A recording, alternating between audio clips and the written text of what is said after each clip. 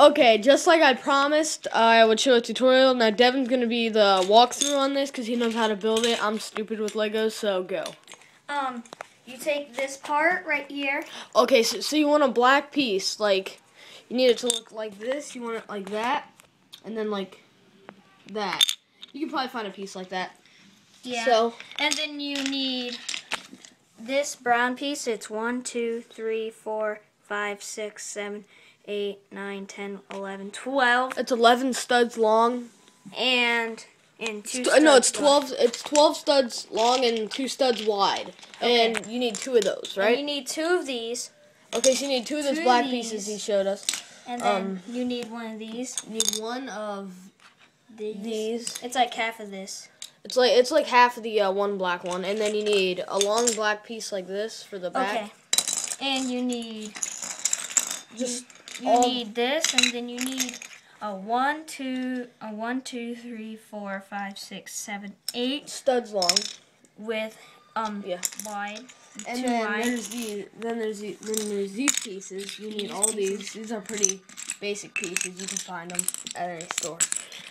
So now let's Especially the Lego store. yeah. So now let's um, go on with the tutorial. That you need And one you dark need- gray. Yeah, you need that. Okay, so let's go. Start with the formation. So You you, use this um, so like you that. so you go like that, and then you do another one like that. Come on. There. Okay. And that should make the formation of the bottom. Okay, so that should make the formation of the bottom. like And then he you use this right on the bottom to keep it together. Okay. And then And then um use this and put it right. How many studs long is that black piece? Eight. It looks One, like. two, three, four, five, six, seven, eight. Okay. So, Eight with two wide, and then you click them together. yep.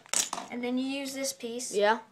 and you put it on the bottom, So you put that on the bottom. and then um, right here, you um take this piece right here, Yes. take this piece, you put this piece right here, like that, in the last four, Yes. back here. Then you put um, Okay. the thing like that, and then you put a black piece right here, and a black piece right here, Okay. and then you put this piece right there, Okay. So we're starting to see the formation of the arrow. and then you put these two pieces right here. Oh, so you put them on the side, so it kind of it's starting to. Well, it's, it's not an arrow, but it's a spear. I don't know why I keep saying arrow. It could be an arrow too. So that's gonna be the back of it, right? Yeah, this is the back. You, you can see how that's turned out to an arrow. Um, you use these two spot, these two right here. You well, first you need to take this. You put Yeah. them right here, Okay. and then you put these two short ones right here, Yeah. and then you take this one and put it right here, and then you put this circle piece right there, and then. And then um, you can see it start forming, and then you add the back piece, and then I don't know where this extra one goes. Hmm. Well, You you'll probably have put it for more formation. Like put it on the bottom of like right here, maybe. I Or- just right there, yeah. That, that that makes it look so. Yeah, that's how you build the uh, Lego spear.